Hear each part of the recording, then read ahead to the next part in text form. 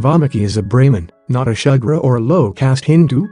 This is a very popular conspiracy theory which is believed by a major chunk of Hindus, particularly the so-called low-caste Hindus, who want to believe Hinduism is friendly or inclusive of them.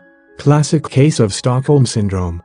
And since a lot of these so-called low-caste Hindus are getting educated and prosperous after independence, the so-called high-caste Hindus, particularly the Brahmins keep on enforcing this belief of theirs to win their support and keep them entangled in this religion of theirs. Here's what Hindu scriptures say about origins of Valmiki. The Nagara Khanda of the Skanda Purana in its section on the creation of Mukhara Tirtha mentions that Valmiki was born a Brahmin, with the name of Lohajangha and was a devoted son to his parents.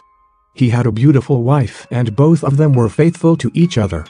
Ramayan, which is considered to be the creation of Valmiki himself, refers to him as son of Prachetas, thus making him a Brahmin. Ramayan 7,96, 18. I tell you the truth, O Rama, that these impressible twin brothers are your son. I am the tenth son of Pracheta, so, far from speaking untruth, it doesn't even spring up in my mind. I therefore know the truth that these twins are your sons.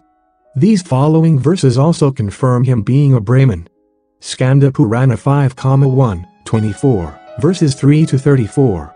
Skanda Purana 6, 1, 124, verses 3 to 85.